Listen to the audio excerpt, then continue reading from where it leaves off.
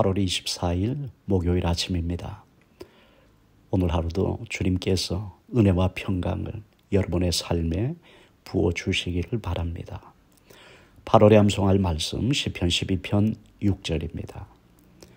여호와의 말씀은 순결함이요 흑도가니에 일곱 번 단련한 은같도다.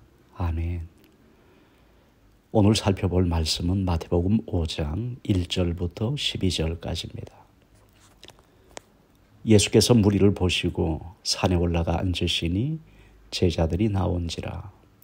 입을 열어 가르쳐 이르시되 심령이 가난한 자는 복이 있나니 천국이 그들의 것이며 애통하는 자는 복이 있나니 그들이 위로를 받을 것이며 온유한 자는 복이 있나니 그들이 땅을 기업으로 받을 것이며 의에 줄이고 목마른 자는 복이 있나니 그들이 배부를 것이며 극률이 여기는 자는 복이 있나니 그들이 극률이 여김을 받을 것이며 마음이 청결한 자는 복이 있나니 그들이 하나님을 볼 것이며 화평하게 하는 자는 복이 있나니 그들이 하나님의 아들이라 일컬음을 받을 것이며 의를 위하여 박해를 받은 자는 복이 있나니 천국이 그들의 것임이라.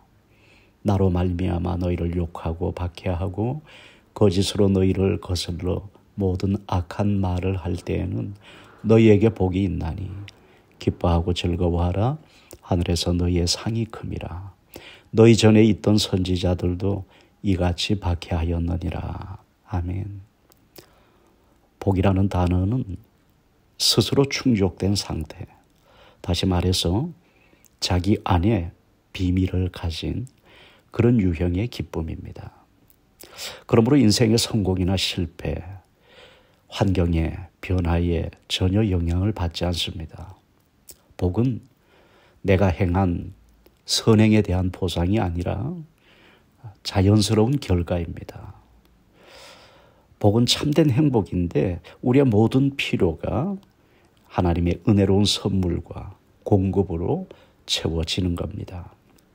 복은 하나님의 은혜와 하나님과의 바른 관계가 가져다 주는 만족과 기쁨의 상태입니다. 팔복의 첫 번째 복인 심령이 가난한 자는 자신의 영적인 빈곤 상태와 절대적인 부족과 무기력함을 겸손히 시인하는 자입니다. 그들이 바로 천국의 주인공입니다. 자신의 죄와 다른 사람의 고난에 대하여 애통하는 마음을 갖는 자는 위로를 받게 됩니다. 온유한 자는 그들의 본성과 충동과 에너지가 하나님에 의해서 통제되는 자들입니다. 그들은 땅을 기업으로 받는 자, 즉 사람들 가운데서 큰 자가 되는 복을 받을 것입니다.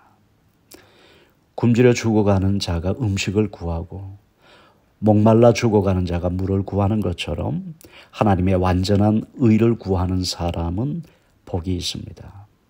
그들은 하늘의 잔치상으로 진정한 배부름을 얻게 될 것입니다. 긍휼을 베푸는 자는 그 대가로 긍휼을 얻게 됩니다. 동기가 불순하지 않고 마음이 맑은 물과 같은 사람은 하나님의 하나님을 보는 복을 얻습니다. 화평케 하는 자, 즉 사람들 사이에서 올바른 관계를 세우는 사람들, 멀어진 사람들 사이에 다리를 놓고 분쟁과 갈등을 치유하는 사람들은 복이 있습니다. 그들은 하나님이 하시는 일과 같은 일을 하는 자들이기 때문입니다. 의로운 목적을 위하여 고난받는 자들은 선지자들이 받는 상을 받게 될 것입니다. 탈복은 행복이 우리의 그 무엇에 달려 있는 것이 아니라 하나님께로부터 오는 것임을 보여주고 있습니다. 하나님께서 우리 모두에게 그 복을 주시기를 바랍니다. 기도하겠습니다. 하나님 아버지 감사합니다. 우리에게 복을 주시되 하늘로부터 임하는 신령한 복을 주셔서 감사합니다. 구원의 복을 주시고 팔복에서 약속하신 복을 주님 안에서 누리며 살게 해 주시니 감사합니다. 주님 앞에 서는 그날까지 심령이 가난한 자, 애통하는 자, 온유한 자, 의에 줄이고 목마른 자로 살게 하옵소서. 극률이 여기는 자, 마음이 청결한 자, 화평케 하는 자, 의를 위하여 박해를 받는 자로 살아 천국을 살게 하시고 천국을 얻게 하여 주옵소서. 오늘 하루도 천국의 그 복과 기쁨을 누리며 살게 하여 주시옵소서. 예수님의 이름으로 기도드립니다. 아멘.